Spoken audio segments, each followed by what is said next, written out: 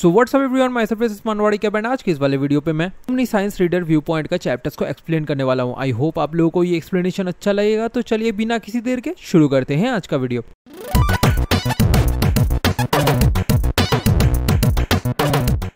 अब यहाँ पे हमें 3707 कोच नंबर को दिखाया जाता है। यहाँ पे बहुत बुरी तरीके से आग लगा हुआ था। हम लोग यहाँ पे देख सकते हैं कि जितने सारे लोग उस मेट्रो रेल के कोच में थे, वो सब के सब मारे गए थे। सिवाय एक आदमी के, जो उस आग के अंदर से भी चल रहा था।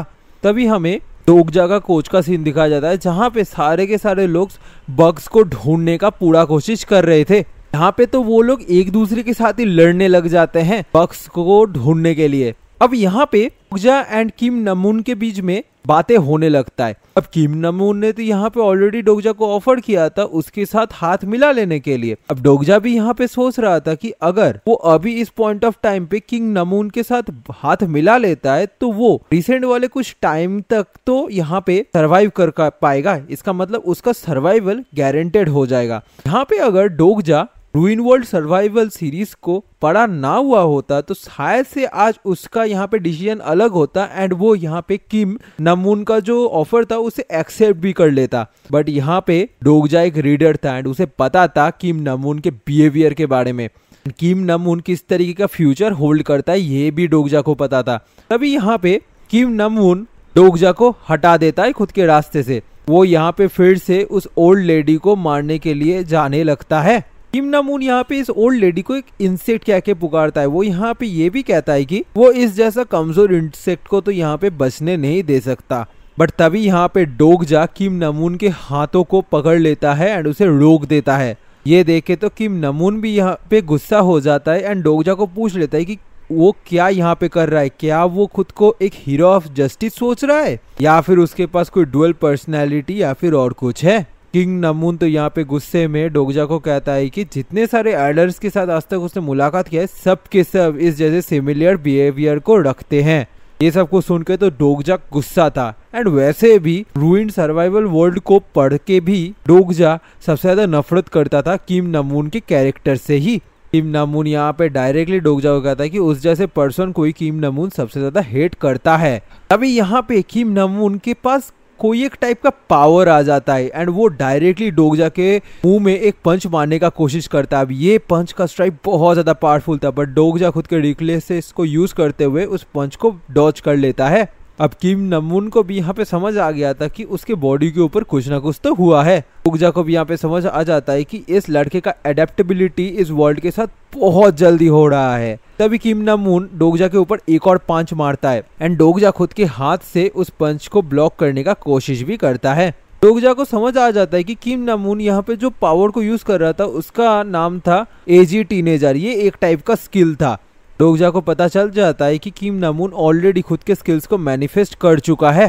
किम नमून तो खुद के फुल पावर से डोगजा के ऊपर पंच मारने का कोशिश करता है बट डोगजा यहाँ पे कुछ करते हुए किम नमून के पंचेस को डॉच करता है। किम नमून खुद के पास इतना ज़्यादा पावर देख के तो बहुत ज़्यादा खुश हो जाता है। वो यहाँ पे हंसने लगता है एंड कहता है कि सच में उसे भी नहीं लगता था कि वो इतना ज़्यादा पावरफुल है बट ये पावर उसे बहुत ज़्यादा पसंद आ रहा था।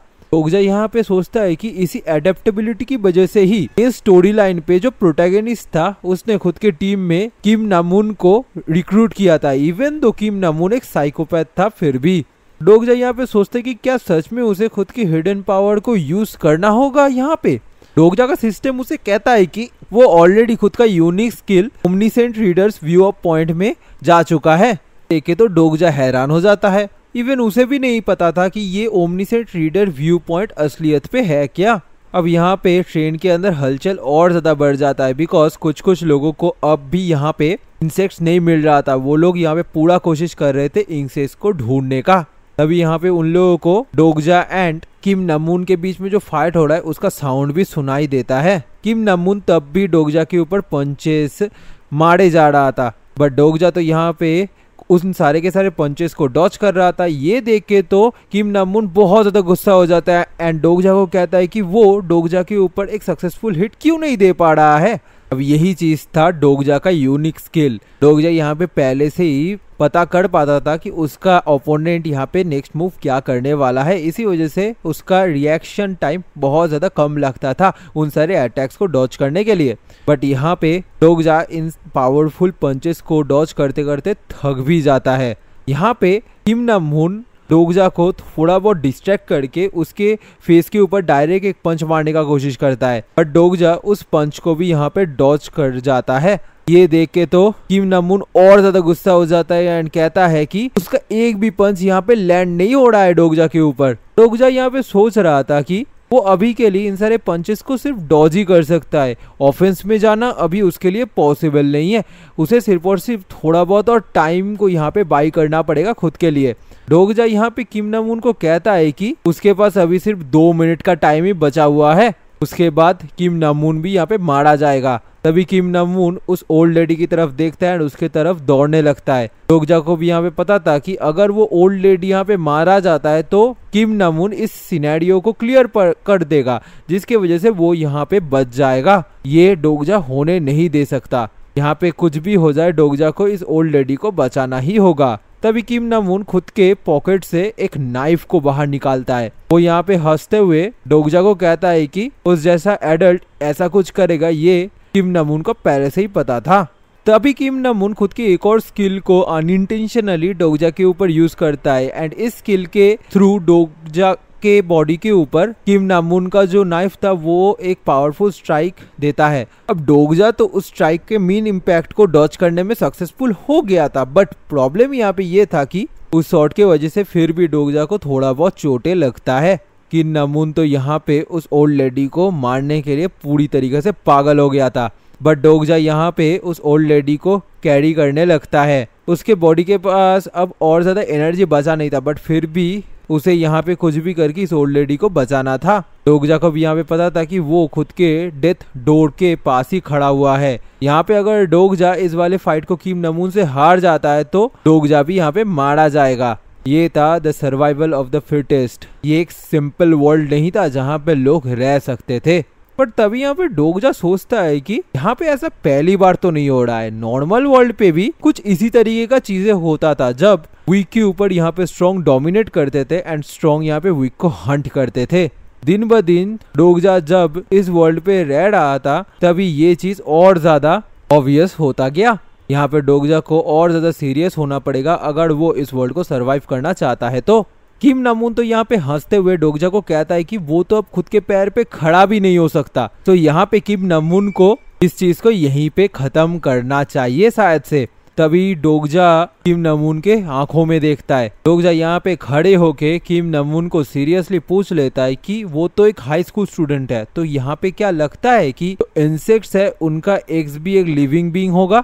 अब किम नमून तो तो यहाँ पे डोगजा का कोई भी बातों का समझ नहीं आ रहा था। वो यहाँ पे डोगजा को कहता है कि वो कहना क्या चाहता है। तभी किंग नमून के हाथों में एक और इंसेक्ट था। वो यहाँ पे किम नमून को कहता है कि वो इस चीज़ का आंसर भी अभी पा जाएगा। डोगजा उस वाले इंसेक्ट को भी मार डालता है खुद के हाथों से। अब इस वाले इंसेक्ट के अंदर उसका एग्स था, जिसको भी डोगजा ने मार डाला था, जिस वजह से यहाँ पे डोगजा को बहुत सारे रिवॉर्ड्स मिलता है इन सारे एडिशनल किल्स की वजह से। इवन किम नमून भी ये देखे, बहुत ज़्यादा हैरान हो गया था। वो यहाँ पे गुस्से में डोगजा को कहता है कि उसे कैसे पता होगा? ये क्वेश्चन के आंसर के बारे में एंड वो फिर से डोगजा के ऊपर अटैक कर देता है खुद के नाइफ से। बट डोगजा तब यहाँ पे खुद के रिफ्लेक्सेस को यूज़ करते हुए पीछे हटता है एंड खुद के सिस्टम को कहता है दो पॉइंट्स को उसके स्टेमिना के ऊपर लगा देने के लिए। अब यहाँ पे किम नमून जब खुद के शॉर्ट से डोगजा के बॉडी के ऊपर अटैक भी करता है बट उस अटैक का यहाँ पे कोई भी असर नहीं होता। डोगजा को एक खरोस्ता नहीं लगता किम नमून भी यहाँ पे हैरान हो जाता है ये चीज़ देख के कि नमून डोगजा को पूछ लेता है कि उसके बॉडी के साथ अचानक से क्या हुआ। तभी डोगजा यहाँ पे कहता है कि एक ग्रास हॉपर खुद के मेटिंग सीज़न में लगभग 100 एग्स को खुद के बॉडी के अंदर रखता है। एंड यहाँ पे डोगजा ने उन सारे के सारे इंसेक्ट्स को मार दिया था। डोगजा यहाँ पे बहुत ज़्यादा सीरियस होकर किम नमून को कहता है कि अभी सिचुएशन पलट चुका है। यहाँ पे अगर कोई मारा जाएगा तो वो डोगजा नहीं किम नमून होगा। यहाँ पे सिर्फ़ और सिर्फ़ 57 सेकेंड्स ही बचा हुआ था टीम नमून भी यहाँ पे थोड़ा सा डरने लगता है। वो खुद के नाइफ से और भी बहुत सारे स्ट्राइक्स देता है डोगजा के बॉडी के ऊपर। वो यहाँ पे डोगजा को पूछ लेता है कि वो यहाँ पे मर क्यों नहीं रहा है? किम नमून तो यहाँ पे पूरा कोशिश कर रहा था डोगजा को मारने का। बट डोगजा वहीं पे खड़ा रहता है, उसे कुछ करने का ज़रूरत ही नहीं था यहाँ पे। एंड धीरे धीरे करके टाइम ओवर होने लगता है जो टाइमर था वो ज़ीरो पे पहुँच जाता है। अब उस बोगी में मौजूद जितने सारे लोगों ने यहाँ पे एक किल हासिल नहीं किया था, वो सब के सब मारे जाते हैं। यहाँ पे जो मेन सिनेरियो था, वो अल्टीमेटली एंड हो जाता है।